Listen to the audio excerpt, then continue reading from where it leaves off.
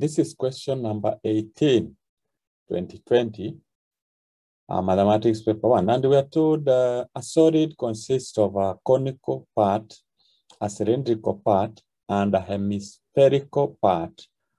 All the parts have the same diameter of 12 centimeter. The height of the cylindrical part is 15 centimeter, and the slanting side height of the conical part is 10 centimeter. Take pi to be 3.142. Uh, so calculate the A, height of the solid, you get two marks. B, the surface area of the solid, correct to one decimal place, you get four marks. Uh, the volume of uh, the solid, correct to two decimal places. Uh, now, to handle this question, maybe we can start by drawing uh, a sketch and uh, this, we can draw it. This is a cylindrical part here. Uh, so that is a cylindrical part. Uh, this is a hemispherical part and this is a conical part. Uh, it is important so that you'll be able to see what you are doing. And from the information given, we are told this is 12. So have the same diameter. The height of the cylindrical part is 15. This is 15 centimeter. And the height, uh, the slanting height uh, of the conical part is, uh, this is a cone, is 10. Uh, so with that information, okay, I've not put the dimension, it's okay because we know all are in, in centimeter. We are required to find the height of the uh, the height of the solid. Now we can get the height.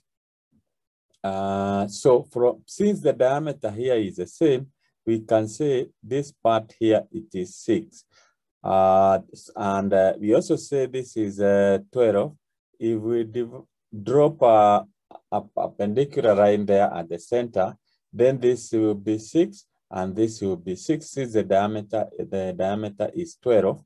Uh, so we need this height. Uh, this height to show you, that you'll be able to add it here. So to get this height, uh, this will be a right angle.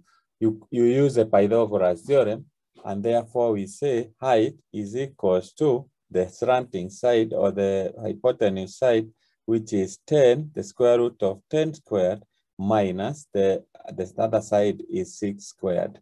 So this will be uh, the square root of the square, the 10 squared is 100, plus, no, not plus actually, but uh, minus, uh, minus 6 squared is 36. Uh, so 100 minus 36, that will give you 64, the square root of 64, and this will give you 8. The square root of 64 is 8. So it means the height here, it is 8, and therefore we can be able to get the height of the, the height of the solid is 6 plus 15 then plus uh, 8, and this will be, uh, this is 21, 29 centimeter. So that's how you get that part. And you get uh, two marks. So you'll be able to get one mark here, uh, one mark there for the for getting the, the, the, the height of the conical part, and one mark there for getting the height of the solid. Okay, we go to part B, uh, surface area of the solid. So what we need to get here is the surface area of the of the hemispherical part. Uh, we get the area, surface area of the cylindrical part and the surface area of the conical part. Uh, so, okay, let's start with the conical part and say uh, the surface area. When you are getting the surface area of a cone, the method we use is pi RL. So that will give us a surface area where R is the radius of the cone, L is the slanting side, and we have the that uh, we add. So the, the, the cylindrical part, uh, to get the surface area of a cylinder, we get the the the the the the, the, um, the perimeter, which you get it is 2 pi r, and we multiply by the height, which is uh, 15. Uh, we, have, we have that or that, we have the radius and the height. Then we add uh, the, the, the surface area of uh, the semi hemisphere here, uh, the formula for finding the surface area of a sphere is 4 uh, pi uh, r squared.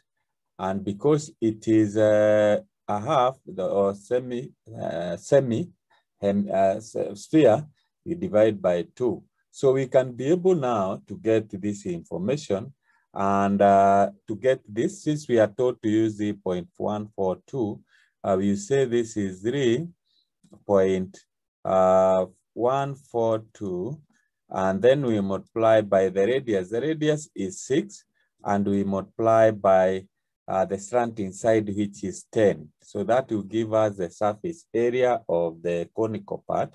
Then we add, uh, here we have 2, we multiply by 3.142, and uh, that is a pi.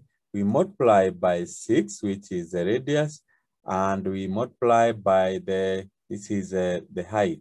The height is 15, so we multiply by 15. That will give us the surface area of uh, the cylindrical part. Then we add, uh, we will add here, uh, this one we have uh, 4 divided by 2, 2 is 2.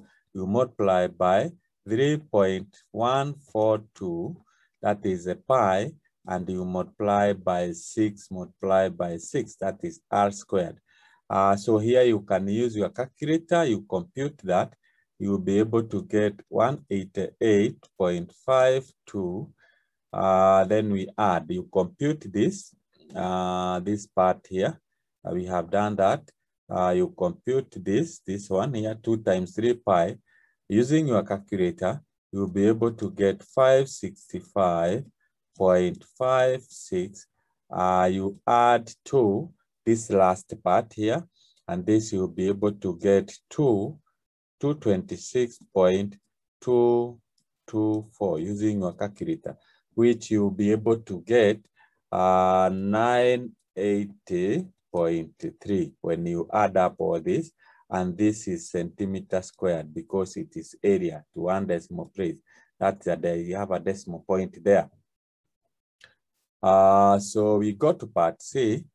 Uh, volume of the solid correct to one decimal place. Volume of the solid correct to one decimal place. So the volume, we need to find the volume of the conical, the cone, the volume of the cylindrical part and the volume of the hemisphere. Uh, so what we do here is we say to get the volume of the cone, we say it is that. Uh, how do you get that that pi? So that pi uh, r h. So it is a that multiplied by 3.142. Uh, then you multiply by radius squared is 6 times 6 uh, you multiply by eight. That is a volume of the cone.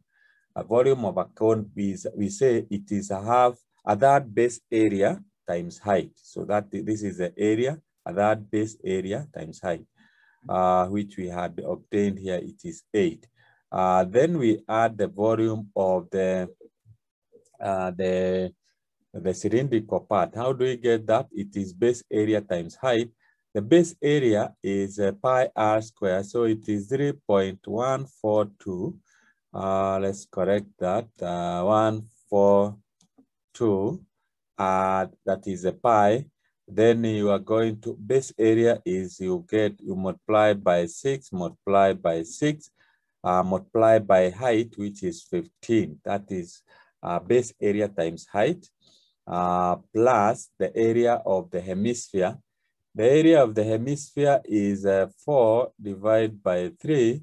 Uh, you multiply by pi, which 3.142. That is a pi, uh, since we are told to use that. Uh, you multiply, it is normally 4 over 3 pi r cubed. So it is 6 multiplied by 6 multiplied by 6 uh, multiplied by a half because it, this is a the volume of the uh, sphere, we divide by two.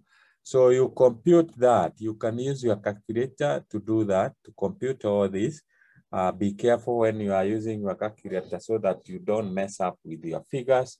Uh, that is why you are taught how to use your calculator properly in Form 3. And when you compute that, you'll be able to get 2,450.76 centimeter cubed, uh, which you can uh, say it is roughly to, because we are told to one decimal place, it is 2,450 point. Since we have six here, this will be 0.8 uh, centimeter cubed, uh, and this is to one uh, decimal place. So that's how you work out that question, and I hope you have followed. Once you do you do this, you'll be able to get a total of 10 marks. Here you get four marks. Uh, you get four marks. You get one here. Uh, let me use, you can get one mark there for computing that, another one mark there for computing that, uh, another one there, and a mark for the answer. The same case applies here. You get one mark there, you get one mark there, you get one mark there, and you get your mark there. So I hope you have followed that. Uh, let's go to number 19.